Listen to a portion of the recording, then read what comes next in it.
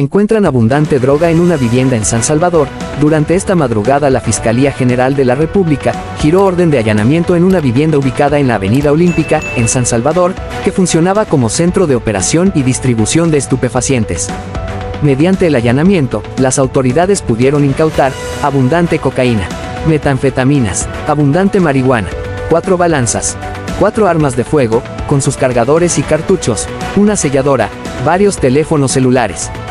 20.690 dólares en efectivo, un vehículo. Si te gustó el video dale like, suscríbete, comenta y comparte. Dos terroristas de la pandilla 18 sureños pensaron que hoy saldrían en libertad del penal de Quesaltepeque, pero enfrentarán un nuevo proceso por agrupaciones ilícitas. Jairo Alexander Martínez, alias Maldito, cumplió una condena por homicidio y cuenta con antecedentes desde 2007 por extorsión, robo y resistencia. William Reynoldson Ortiz Alvarado, alias Wizard, cumplió una condena por privación de libertad y cuenta desde 2017 con antecedentes por homicidio, intento de homicidio, extorsión y resistencia. Ambos volverán a sus celdas para que paguen por sus crímenes. Si te gustó el video suscríbete, dale like, comenta y comparte. Carlos Antonio García Pineda, alias Little Mora, terrorista de la 18 Revolucionarios, era el palabrero de una clica de Zacatecoluca.